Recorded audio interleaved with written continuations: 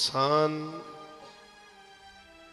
ਭਾਵੇਂ ਬੀਜ ਪੁੱਠਾ ਬੀਜੇ ਤੇ ਭਾਵੇਂ ਸਿੱਧਾ ਬੀਜੇ। ਧਿਆਨ ਨਾਲ ਸੁਣਿਓ ਜੀ। ਬੀਜ ਭਾਵੇਂ ਪੁੱਠਾ ਬੀਜ ਦੇਵੇ ਭਾਵੇਂ ਸਿੱਧਾ ਬੀਜ ਦੇਵੇ ਪ੍ਰਫੁੱਲਤ ਹੋ ਜਾਂਦਾ। ਬੀਜ ਦੇਵੇ ਬਸ ਆਖੋ ਸਤਨਾਮ। ਵਾਹਿਗੁਰੂ। ਬੀਜ ਦੇਵੇ। ਕਈ ਵਾਰੀ ਦਾਸ ਇਹ ਗੱਲ ਤੁਹਾਡੇ ਨਾਲ ਸਾਂਝੀ ਕਰਦਾ ਹੈ। ਇੱਕ ਕਿਸਾਨ ਇਦਾਂ ਬੈਠਾ ਹੋਇਆ ਹੈ, ਮਾਯੂਸ ਜਿਹਾ ਹੋ ਕੇ ਨਾ ਆਪਣੀ ਖੇਤੀ ਵੱਲ ਵੇਖ ਰਿਹਾ ਖੇਤ ਵੱਲ ਵੇਖ ਰਿਹਾ ਖੇਤ ਵੱਲ ਵੇਖ ਰਿਹਾ ਕੋਈ ਖੇਤੀ ਨਹੀਂ। ਮਾਯੂਸ ਬੈਠਾ ਹੈ, ਪਰੇਸ਼ਾਨ ਬੈਠਾ ਕੋਈ ਬੰਦਾ ਤੁਰਿਆ ਆ ਰਿਹਾ ਸੀ, ਉਹਨੇ ਵੇਖਿਆ ਬਈ ਇਹਨੂੰ ਪਰੇਸ਼ਾਨੀ ਵਿੱਚ। ਕਹਿੰਦੇ, ਭਾਈ, ਕੀ ਹੋਇਆ?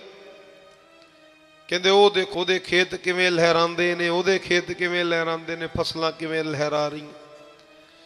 ਮੇਰੇ ਖੇਤ ਦੇ ਵਿੱਚ ਫਸਲ ਹੀ ਨਹੀਂ। ਉਹ ਸਿਆਣੇ ਨੇ ਪੁੱਛਿਆ, ਕਹਿੰਦੇ ਬੀਜ ਕਿਹੜਾ ਪਾਇਆ ਸੀਗਾ ਬੀਜ ਕਿਹੜਾ ਪਾਇਆ? ਇਹ ਕਹਿੰਦਾ, ਬੀਜ ਤਾਂ ਮੈਂ ਪਾਇਆ ਹੀ ਨਹੀਂ। ਆਖੋ, ਸਤਨਾਮ। ਕਹਿੰਦੇ, ਮੂਰਖਾ, ਜੇ ਬੀਜ ਪਾਇਆ ਨਹੀਂ ਤੇ ਖੇਤੀ ਕਿਵੇਂ ਹੋਏਗੀ? ਫਸਲ ਕਿਵੇਂ ਲਹਿਰਾਏਗੀ?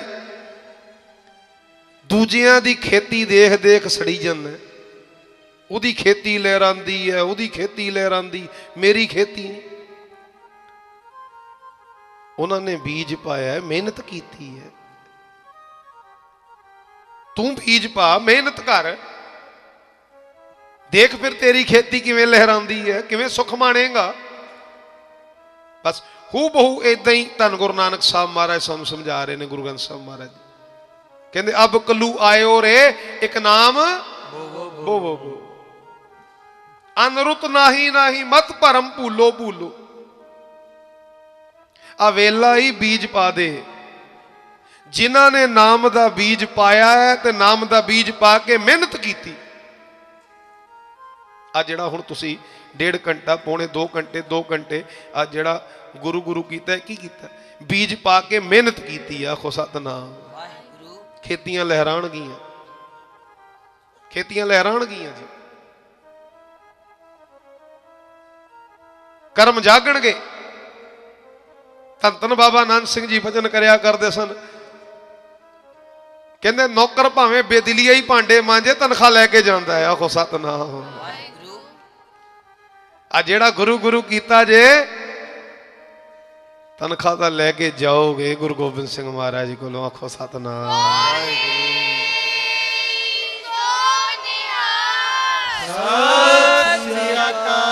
ਇੱਕ ਦੁਨਿਆਵੀ ਮਾਲਕ ਬੇਦਿਲੀਆ ਭਾਂਡੇ ਮਾਜਣ ਤੇ ਤਨਖਾਹ ਦੇ ਦਿੰਦਾ। ਇੱਕ ਦੁਨਿਆਵੀ ਮਾਲਕ। ਉਹ ਇਹ ਤਾਂ ਅਰਸ਼ਾਂ ਦੇ ਮਾਲਕ ਨੇ, ਦੋ ਜਹਾਂ ਵਾਲੀ ਨੇ। ਕੁਲ ਕਾਇਨਾਤ ਦੇ ਮਾਲਕ ਨੇ। ਸਾਹਿਬ ਕਹਿੰਦੇ, ਜਪ ਬਸ। ਜਨ ਨਾਨਕ ਕੋ ਗੁਰ ਏ ਮਤ ਦੀਨੀ। ਕਹਿੰਦੇ ਜਪ ਹਰ ਭੌਜਲ ਕਰਨ ਹਰੀ ਨੂੰ ਜਪ ਤੇ ਤਰ ਜਾਏਗਾ। ਹਰੀ ਨੂੰ ਜਪ, ਉਹ ਜਿਵੇਂ ਮਰਜ਼ੀ ਜਪ, ਬਸ ਜਪ ਤੂੰ, ਆਖੋ ਸਤਨਾਮ। ਤੂੰ ਜਪ। ਜੇ ਸੰਗਤ 'ਚ ਬਹਿ ਕੇ ਜਪੇ ਤੇ ਬਹੁਤ ਵੱਡਾ ਲਾਭ ਹੈ। ਜੇ ਸੰਗਤ 'ਚ ਬਹਿ ਕੇ ਜਪੇ ਤੇ ਬਹੁਤ ਵੱਡਾ ਲਾਭ ਹੈ।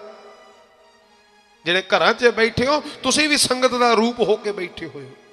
ਭਾਵੇਂ ਕੋਈ ਕੱਲਾ ਹੀ ਬੈਠਾ ਹੈ ਘਰ 'ਚ। ਬੜੇ ਤੁਹਾਡੇ ਵਿੱਚੋਂ ਕੱਲੇ ਹੀ ਬੈਠੇ ਹੋਣਗੇ ਘਰ 'ਚ। ਮਰਦ ਹੋ ਤੁਸੀਂ, ਸੂਰਮੇ ਹੋ ਤੁਸੀਂ। ਸੰਗਤ ਵਿੱਚ ਕਈ ਵਾਰੀ ਬੈਠ ਕੇ ਸਾਧ ਸੰਗਤ ਜੀ ਵਾਈਬਸ ਐਸੀਆਂ ਹੁੰਦੀਆਂ ਨੇ ਵਾਈਬ੍ਰੇਸ਼ਨਸ ਐਸੀਆਂ ਹੁੰਦੀਆਂ ਨੇ, ਬੰਦਾ ਕਾਇਮ ਰਹਿੰਦਾ ਪਰ ਜਦੋਂ ਕੱਲਾ ਜੋੜਦਾ ਹੈ ਸਾਧ ਸੰਗਤ, ਮਨ ਪੂਰੀ ਤਰ੍ਹਾਂ ਹਾਵੀ ਹੋਇਆ ਹੁੰਦਾ ਮਨ ਪੂਰੀ ਤਰ੍ਹਾਂ ਹਾਵੀ ਹੋਇਆ ਹੁੰਦਾ ਹੈ, ਪੂਰੀ ਤਰ੍ਹਾਂ ਡਿਗਾਉਂਦਾ ਹੈ, ਡੁਲਾਉਂਦਾ ਹੈ। ਪਰ ਜੇ ਕਾਇਮ ਹੋ ਕੇ ਬੰਦਾ ਬੈਠਾ ਰਵੇ, ਪੂਰੀ ਸਾਧਨਾ ਗੁਰੂ ਗੁਰੂ ਕਰਦਾ ਰਵੇ, ਫਿਰ ਸੂਰਮ ਗਤੀ ਵਾਲਾ ਕੰਮ ਕੀਤਾ ਤੁਸੀਂ, ਆਖੋ ਸਤਨਾਮ। ਸੂਰਮ ਗਤੀ ਵਾਲਾ ਕੰਮ, ਸੂਰਮੇ ਬਣੇ ਹੋ। ਤੇ ਤੁਸੀਂ ਵੀ ਸੰਗਤ ਦਾ ਰੂਪ ਹੋਗੇ। ਹਜ਼ਾਰਾਂ ਪ੍ਰਾਣੀ ਇਸ ਵੇਲੇ ਸਾਧ ਸੰਗਤ ਸੰਗਤ ਰੂਪ ਹੋ ਕੇ ਬੈਠੇ, ਭਾਵੇਂ ਇਕੱਲੇ ਬੈਠੇ ਹੋ ਨਾ ਘਰ, ਤੁਸੀਂ ਹਜ਼ਾਰਾਂ ਪ੍ਰਾਣੀਆਂ ਦੇ ਸੰਗਤ ਰੂਪ ਹੋ ਕੇ ਬੈਠੇ ਹੋ। ਤੁਸੀਂ ਵੀ ਇਸ ਵੇਲੇ ਉਹੀ ਜਪ ਰਹੇ ਹੋ ਜੋ ਇੱਥੇ ਸੰਗਤ ਜਪ ਰਹੀ ਆ, ਆਖੋ ਸਤਿ ਇੱਕ ਸੈਕਿੰਡ ਦਾ ਵੀ ਫ਼ਰਕ ਨਹੀਂ। ਇੱਥੇ ਸੰਗਤ ਕਹਿੰਦੀ ਹੈ ਵਾਹਿਗੁਰੂ, ਤੁਸੀਂ ਵੀ ਕਹਿੰਦੇ ਹੋ, ਵਾਹਿਗੁਰੂ। ਇੱਥੇ ਸੰਗਤ ਕਹਿੰਦੀ, ਧੰਨ ਗੁਰੂ ਗੋਬਿੰਦ ਸਿੰਘ ਮਹਾਰਾਜ, ਤੁਸੀਂ ਵੀ ਕਹਿੰਦੇ ਧੰਨ ਗੁਰੂ ਗੋਬਿੰਦ ਸਿੰਘ ਮਹਾਰਾਜ। ਤੇ ਸੰਗਤ ਰੂਪ ਹੋ ਕੇ ਬੈਠੇ ਹੋ ਨਾ। ਸਾਹਿਬ ਕਹਿੰਦੇ, ਸੰਗਤ ਕੇ ਗੁਣ ਬਹੁਤ ਦਿਖਾਈ ਬੜੇ ਵੱਡੇ ਭਾਗ ਜਾਗਦੇ ਨੇ। ਬੜੇ ਵੱਡੇ ਗੁਣ ਸਾਧ ਸੰਗਤ, ਬੜੇ ਵੱਡੇ ਪੁੰਨ ਬਣਦੇ ਨੇ। ਜਦੋਂ ਕੋਈ ਸੰਗਤ 'ਚ ਬਹਿ ਕੇ ਨਾਮ ਜਪਦਾ, ਘਰ 'ਚ ਆਲਸ ਆ ਜਾਂਦਾ। ਕਈ ਵਾਰੀ ਜਿਹੜੇ ਲੁਧਿਆਣੇ ਦੀ ਸੰਗਤ ਹੈ ਭਾਈ ਤੁਹਾਡੇ ਤਾਂ ਚਰਨਾਂ 'ਚ ਬੇਨਤੀ ਹੈ, ਤੁਹਾਡੇ ਘਰ 'ਚ ਗੰਗਾ ਵਹਿੰਦੀ ਹੈ। ਪਤਾ ਨਹੀਂ ਕਿੱਥੋਂ ਕਿੱਥੋਂ ਸੰਗਤਾਂ, ਸਾਧ ਸੰਗਤ ਜਦੋਂ ਸਮਾਂ ਮਿਲਦਾ ਹੈ ਹਰਮੰਦਰ ਸਾਹਿਬ ਜਾਂਦਿਆਂ ਨੂੰ ਜਾਂ ਹਰਮੰਦਰ ਸਾਹਿਬ ਮੱਥਾ ਟੇਕ ਕੇ ਤਕਰੀਬਨ ਤਕਰੀਬਨ ਸੰਗਤ ਗੁਰੂ ਦੀ ਕਿਰਪਾ ਦੇ ਨਾਲ ਇੱਥੇ ਦਰਸ਼ਨ ਦੇ ਕੇ ਜਾਂਦੀ ਹੈ ਇੰਨਾ ਚਾਹ ਹੁੰਦਾ ਸੰਗਤਾਂ ਦੇ ਵਿੱਚ। ਇੰਨਾ ਚਾਹ ਹੁੰਦਾ ਸੰਗਤਾਂ ਦੇ ਵਿੱਚ ਸਾਧ ਸੰਗਤ ਕਿ ਵੀ ਜਾ ਕੇ ਸੰਗਤ 'ਚ ਬਹਿਣਾ ਹੈ ਸਥਾਨ ਤੇ। ਤੇ ਲੁਧਿਆਣੇ ਦੀ ਸੰਗਤ ਤਾਂ ਘਰ ਦੇ 'ਚ ਗੰਗਾ ਵਹਿੰਦੀ ਹੈ ਭਾਈ ਤੁਸੀਂ ਤਾਂ ਸਥਾਨ ਤੇ ਆ ਕੇ ਜਪਿਆ ਕਰੋ, ਆਖੋ ਸਤਨਾਮ। ਘਰਾਂ ਘਰਾਂ ਦੇ ਵਿੱਚ ਉਹਨਾਂ ਵਾਸਤੇ ਜਿਹੜੇ ਦੂਰ ਦਰਾਡੇ ਬੈਠੇ ਹੋਏ ਨੇ, ਕੋਈ ਆਪਸ਼ਨ ਨਹੀਂ ਹੈ। ਇੱਥੇ ਆਉਣ ਦਾ ਕੋਈ ਆਪਸ਼ਨ ਨਹੀਂ ਹੈ। ਜਿਹੜੇ ਦੂਰ ਦਰਾਡੇ ਬੈਠੇ ਹੋਏ ਨੇ, ਫਿਰ ਉਹਨਾਂ ਲਈ ਤਾਂ ਆਹੀ ਆਪਸ਼ਨ ਹੈ, ਇਹੀ ਸੰਗਤ ਹੈ, ਸਾਧ ਸੰਗਤ ਲਾਈਵ ਦੇ ਵਿੱਚ। ਵੱਡੇ ਭਾਗ ਕਿ ਜਿਹੜੇ ਅੰਮ੍ਰਿਤ ਵੇਲੇ ਉੱਠ ਕੇ ਬੰਦਗੀ ਪੇ ਕਰਦੇ ਹੋ। ਖੇਤੀ ਆਪਣੀ ਹਰੀ ਕਰਦੇ ਪਏ ਹੋ, ਬੀਜ ਪਾ ਕੇ ਆਖੋ, ਸਤਨਾਮ। ਤੇ ਜਿਨ੍ਹਾਂ ਨੇ ਬੀਜ ਪਾਇਆ ਹੀ ਨਹੀਂ। ਫਿਰ ਕਹਿਣ ਜੀ, ਉਹ ਸੁਖ ਮਾਣਦਾ ਹੈ, ਉਹ ਸੁਖ ਮਾਣਦਾ ਹੈ, ਉਹਦੀ ਖੇਤੀ ਲਹਿਰਾਂਦੀ ਹੈ, ਉਹਦੀ ਖੇਤੀ ਲਹਿਰਾਂਦੀ ਇਹ ਰੱਬਾ, ਮੇਰੇ ਨਾਲ ਕੀ ਦੁਸ਼ਮਣੀ ਹੈ? ਉਹ ਰੱਬਾ, ਰੱਬ ਦੀ ਤੇਰੇ ਨਾਲ ਦੁਸ਼ਮਣੀ ਨਹੀਂ, ਤੇਰੀ ਦੁਸ਼ਮਣੀ ਤੂੰ ਆਪ, ਆਪਣੇ ਆਪ ਦੇ ਨਾਲ ਦੁਸ਼ਮਣ ਬਣਿਆ ਬੈਠਾ ਆਪ ਦਾ ਹੀ ਦੁਸ਼ਮਣ ਬਣਿਆ ਬੈਠਾ ਹੁਣ ਤੂੰ ਬੀਜ ਹੀ ਨਾ ਪਾਵੇਂ ਇਹਦੇ ਚ ਰੱਬ ਦਾ ਕੀ ਕਸੂਰ ਹੈ ਜੀ? ਕਿਸਾਨ ਬੀਜ ਹੀ ਨਾ ਪਾਵੇ ਤੇ ਰੱਬ ਨੂੰ ਦੋਸ਼ ਦੇਈ ਜਾਵੇ, ਰੱਬਾ, ਉਹਦੀ ਖੇਤੀ ਲਹਿਰਾਂਦੀ ਉਹਦੀ ਖੇਤੀ ਲਹਿਰਾਂਦੀ ਮੇਰੀ ਖੇਤੀ ਕਿਉਂ ਨਹੀਂ? ਰੱਬਾ ਮੇਰੇ ਨਾਲ ਕਾਦੀ ਦੁਸ਼ਮਣੀ? ਰੱਬ ਕਹੇਗਾ, ਆਪਣਾ ਦੁਸ਼ਮਣ ਤੂੰ ਆਪ ਬਣਿਆ ਪਿਆ, ਪਾ। ਬੀਜ ਪਾ। ਸਹੀ ਵੀ ਤਾਂ ਇਦਾਂ ਕਹਿੰਦੇ, ਨਾਮ ਬੀਜ। ਬੀਜ ਨਾ ਫਿਰ ਨਾਮ, ਜੇ ਸੁਖ ਚਾਹੀਦੇ ਨਹੀਂ, ਜੇ ਖੁਸ਼ੀਆਂ ਖੇੜੇ ਚਾਹੀਦੇ ਨਹੀਂ, ਨਾਮ ਬੀਜ। ਕਹਿੰਦੇ, ਨਾਮ ਬੀਜ ਸੰਤੋਖ ਸੁਹਾਗਾ, ਫਿਰ ਰੱਖ ਗਰੀਬੀ। ਵੇਸ ਕਿਰਪਾ ਹੋਏਗੀ, ਬਖਸ਼ਿਸ਼ ਹੋਏਗੀ, ਮਹਾਰਾਜ ਗਾਰੰਟੀ ਦੇ ਰਹੇ ਨੇ। ਸਤਿਗੁਰ ਕਿਰਪਾ ਕਰਨ। ਮਾਘ ਦਾ ਪਵਿੱਤਰ ਮਹੀਨਾ ਸ਼ੁਰੂ ਹੋਇਆ ਪਿਆ ਜੀ। ਕੋਸ਼ਿਸ਼ ਕਰੋ ਕਰਮਾਂ ਵਾਲਿਓ, ਘਰੋਂ ਨਿਕਲੋ ਬਾਹਰ। ਜਿੰਨੀ ਮਰਜ਼ੀ ਪਈ ਠੰਡ ਪੈਂਦੀ ਹੋਵੇ ਸਾਧ ਸੰਗਤ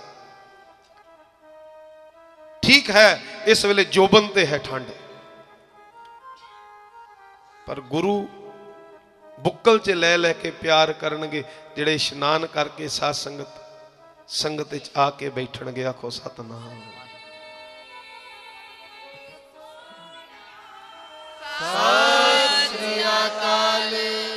ਸੱਚ ਕਹਿ ਰਿਹਾ ਦਾਸ, ਇਹ ਸੁੱਖੀ ਘਾਟੀ ਨਹੀਂ ਹੈ। ਘਰ 'ਚ ਤੁਸੀਂ ਉੱਠੇ ਹੋ, ਇਸ਼ਨਾਨ ਕੀਤਾ, ਬਸਤਰ ਪਾਏ ਬਹਿ ਗਏ। ਮੁਬਾਰਕ ਹੈ, ਇਹ ਵੀ ਬੜੀ ਵੱਡੀ ਬਾਤ ਹੈ ਕਿ ਅੰਮ੍ਰਿਤ ਵੇਲੇ ਉੱਠ ਕੇ ਜਪਣਾ ਬੜੀ ਵੱਡੀ ਬਾਤ। ਪਰ ਸਾਧ ਸੰਗਤ ਐਡੀ ਕੱਕਰ ਦੀ ਠੰਡ ਦੇ ਵਿੱਚ ਫਿਰ ਬਾਹਰ ਨਿਕਲ ਕੇ ਗੱਡੀ 'ਚ ਬਹਿ ਕੇ ਫਿਰ ਇੱਥੇ ਪਹੁੰਚਣਾ, ਆਖੋ ਸਤਨਾਮ। ਇਹ ਮਸ਼ਕਤ ਹੈ। ਇਹ ਮਸ਼ਕਤ ਹੈ। ਇਹ ਮਸ਼ਕਤ ਘਾਲਣੀ ਹੈ।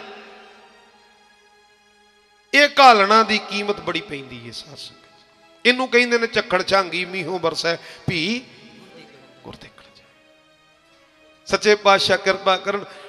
ਬਹੁਤ ਬਰਕਤਾਂ ਤੁਹਾਡੀ ਝੋਲੀ 'ਚ ਪਾਣਗੇ। ਜੇ ਆ ਸ਼ੌਂਕ ਪੱਕਾ ਹੀ ਲਾ ਲੋਗੇ ਆ ਮਹੀਨਾ ਸਾਧ ਬੜਾ ਪਵਿੱਤਰ ਮਹੀਨਾ ਸ਼ੁਰੂ ਹੋਇਆ।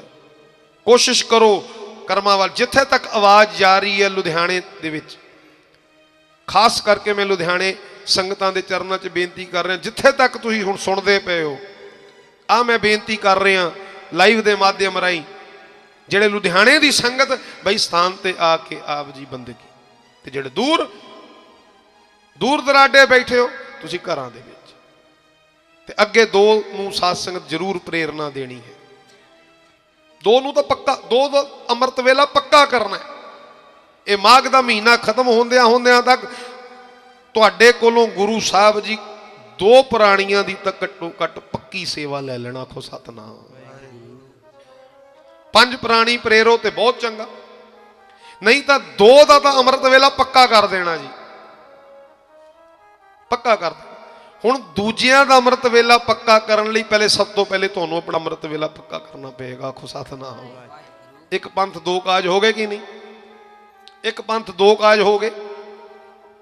ਵੀ ਦੂਜਿਆਂ ਦਾ ਅੰਮ੍ਰਿਤ ਵੇਲਾ ਪੱਕਾ ਕਰਨ ਵਾਸਤੇ ਆਪ ਦਾ ਅੰਮ੍ਰਿਤ ਵੇਲਾ ਪੱਕਾ ਕਰਨਾ, ਫਿਰ ਆਪ ਦਾ ਅੰਮ੍ਰਿਤ ਵੇਲਾ ਪੱਕਾ ਕੀਤਾ ਤੇ ਆਪ ਦਾ ਤਾਂ ਭਲਾ ਕੀਤਾ ਕੀਤਾ। ਹੁਣ ਜਦੋਂ ਦੂਜਿਆਂ ਨੂੰ ਪ੍ਰੇਰੋਗੇ, ਆਪਣੇ ਨੀਅਰ ਐਂਡ ਡੀਅਰਸ ਨੂੰ ਪ੍ਰੇਰੋ ਤੇ ਸਾਧ ਸੰਗਤ ਉਹਨਾਂ ਦਾ ਵੀ ਭਲਾ ਹੋਏਗਾ। ਤੁਹਾਡਾ ਤਾਂ ਭਲਾ ਹੋ ਹੀ ਰਿਹਾ। ਗੁਰੂ ਕਿਰਪਾ ਕਰ। ਮੇਰ ਪਰਿਆ ਹੱਥ ਰੱਖਣ, ਇਹ ਜਿਹੜਾ ਨਾਮ ਜਪਣ ਦੀ ਤਾਕੀਦ ਕੀਤੀ ਹੈ, ਇਸ ਮਹੀਨੇ ਦੇ ਵਿੱਚ ਸਾਧ ਸੰਗਤ ਜੀ ਬਹੁਤ ਵੱਡਾ ਮਹਾਤਮ ਦੱਸਿਆ।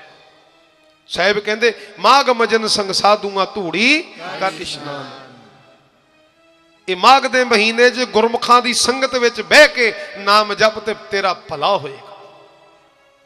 ਬੜਾ ਭਲਾ ਹੋਏਗਾ। ਤੇ ਆ ਜਿਹੜੀ ਰੰਗ ਰਤੜੀਆਂ ਰੂਹਾਂ ਬੈਠੀਆਂ, ਹੋਰ ਗੁਰਮੁਖ ਕੌਣ ਸਾਧ ਸੰਗਤ? ਕੋਈ 2 ਵਜੇ ਉੱਠ ਕੇ ਬੈਠਾ ਹੋਇਆ, ਕੋਈ 3 ਵਜੇ ਦਾ ਉੱਠਿਆ, ਕੋਈ 1:30 ਵਜੇ ਦਾ ਉੱਠਿਆ ਤੁਹਾਡੇ ਤੋਂ ਵੱਡਾ ਗੁਰਮੁਖ ਫਿਰ ਕਿਹੜਾ ਹੋਏਗਾ? ਆਖੋ ਸਤਨਾਮ। ਆ ਗੁਰਮੁਖਾਂ ਦੀ ਸੰਗਤ 'ਚ ਬਹਿ ਕੇ ਨਾਮ ਜਪਣਾ ਇਸ ਮਹੀਨੇ ਦੀ ਬੜਾ ਵੱਡਾ ਮਹੱਤਵ ਹੈ। ਗੁਰੂ ਮੇਰ ਕਰਨ, ਨਿਤ ਦਾ ਅੰਮ੍ਰਿਤ ਵੇਲਾ ਪੱਕਾ ਕਰੀਏ। ਜੇ ਨਿਤ ਨਹੀਂ, ਘੱਟੋ ਘੱਟ ਆ ਮਹੀਨਾ, ਇਹ ਮਹੀਨੇ ਦੇ ਸਦਕਾ ਹੀ ਫਿਰ ਅਗਲੇ ਮਹੀਨੇ ਸ਼ੁਰੂ ਹੋ ਜਾਣਗੇ, ਆਖੋ ਸਤਨਾਮ। ਹਾਂਜੀ ਸਾ